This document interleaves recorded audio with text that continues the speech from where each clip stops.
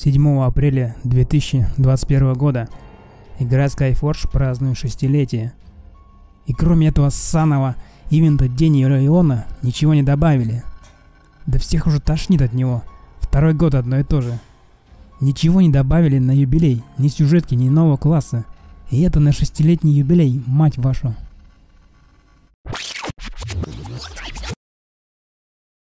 Не переживай, обнова выйдет чуть позже. 2 июня и новый класс там будет, как ты и хотел.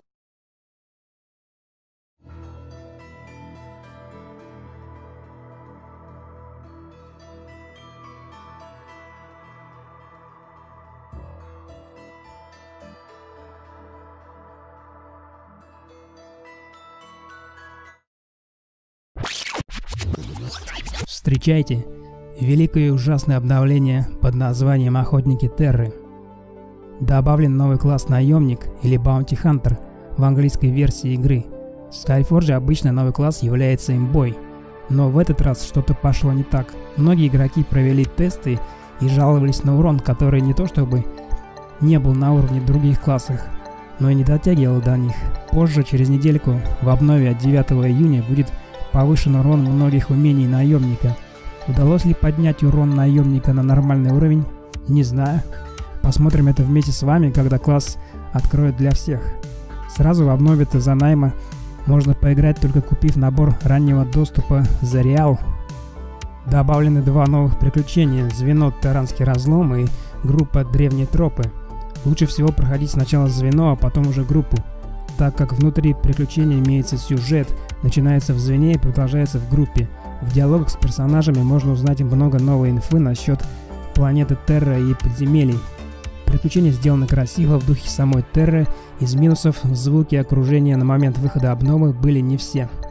Из плюсов обновы добавлен быстрый доступ к транспорту. Появилось меню избранного транспорта. И теперь можно менять мантов одним на зажатием кнопки и не лазить глубоко в меню, как раньше.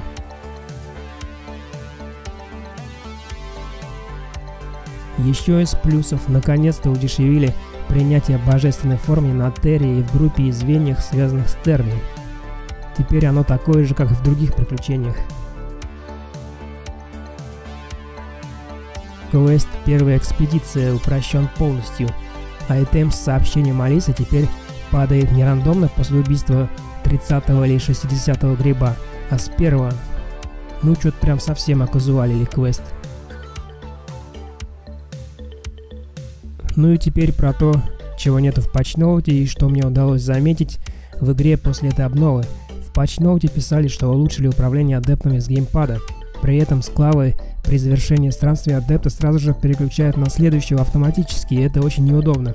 Ползунок переключается на следующего, хотя текущий еще не отправлен в странствие и отдыхает. Я из-за этого себе веру жопу в начале. Искры преображения, которые нужны для открытия нового класса, не падают с мобов и их нету в награде за приключения и ПВП. Напомню, в прошлый раз при добавлении класса Пиромант искры давали нафармить сразу после обновы. В этот раз получение нового класса игроками, не купившими набор, затянется, ведь нужно будет еще и насобирать искр на новый класс. Также тема оформления интерфейса игры оригинальная отключена в игре, но это та тема, которая зелененькая со старой эры. Она долгое время была сломана и текста вообще не было видно при этой теме.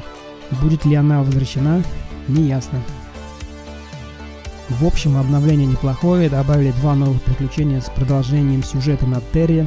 Заканчивается приключение на самом интересном, вдали виден мост, куда он ведет, непонятно. Надеюсь, что мы про это узнаем не через год. Добавили быстрый доступ к транспорту, а также новый класс, появится, который почему-то имбой не оказался, после открытия общего доступа к нему обязательно изучу. На этом у меня все. Спасибо за просмотр. Если хотите посмотреть на новые данжи, оставлю ссылки в комментариях и описании к ролику. Кроме новых данжей будут ссылки на видео, начиная от ивента Аномалия. Этот ивент проходил единоразово в игре и больше не повторялся. В результате, именно в, результате этого ивента Аномалии и Леонцы смогли прилететь на Терру.